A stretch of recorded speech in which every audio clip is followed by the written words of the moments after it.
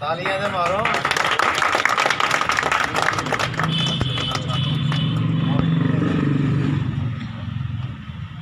थोड़ा मार थोड़ा ना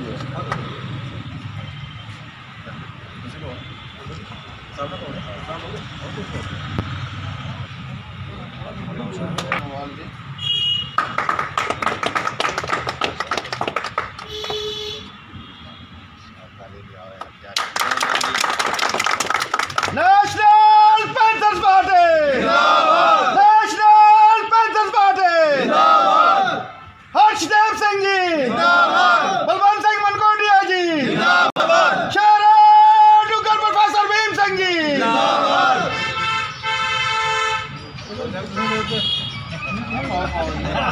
कुंडल साहब आगे बढ़ो हम तुम्हारे साथ हैं कुंडल साहब आगे बढ़ो हम तुम्हारे साथ हैं कुंडल साहब आगे बढ़ो हम तुम्हारे साथ आए दिन पैंथर्स पार्टी में सैकड़ों की तादाद में नौजवान शामिल हो रहे हैं और उसी कड़ी में आज भी मुख्तलिफ़ सियासी पार्टियों से, मुख्तलिफ़ सोशल ऑर्गेनाइजेशन से, स्टूडेंट ऑर्गेनाइजेशन से और यूथ ऑर्गेनाइजेशन से लोगों ने पैंथर्स पार्टी का दामन थामा है। हमारे साथ यहाँ स्वरण सिंह जी हैं, जो डिस्ट्रिक्ट उधमपुर के नेशनल कॉन्फ्रेंस के वाइस प्रेसिडेंट हैं। ये अपने सैकड़ों समर्थकों के साथ आज पैंथर्स पार्टी का दामन थाम रहे हैं। आज 500 के करीब नौजवान जो हैं, इनके साथ आए हुए हैं, जो पैंथर्स पार्टी में शामिल हो रहे हैं। इसी तरीके से रजनी जम्वाल, जो 10 plus two contractual lecture association की जम्मू कश्मीर की प्रेसिडेंट रही हैं, ये भी आज अपने साथियों के साथ सैकड़ों की तादाद में जो इनके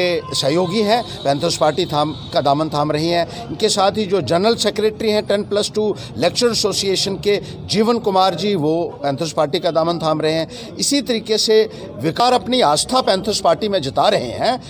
उसका यही एक कारण है कि जिस तरीके से पैंथर्स पार्टी अपनी लड़ाई लड़ती रही है जम्मू के कॉज के लिए, यहाँ के लोगों के लिए, हर इशू के ऊपर पैंथ है क्योंकि उन्होंने बार बार यहाँ के नौजवानों के साथ, यहाँ के आवाम के साथ धोखा किया, ना केवल बेरोजगार नौजवानों के साथ एक विश्वासघात किया, बल्कि जिस तरीके से उन्होंने 4G कनेक्टिविटी से हमें महरूम किया, जिस तरीके से उन्होंने यहाँ नए नए कानून लोगों के ऊपर थोप कर यहाँ के लोगों को निराश किया यहाँ अगर जम्मू प्रांत में अगर लोगों को कुछ मिला है तो महज टोल प्लाजाज हैं और इसी को देखते हुए लोगों में एक भारी गुस्सा जो है वो देखने, देखा जा रहा है।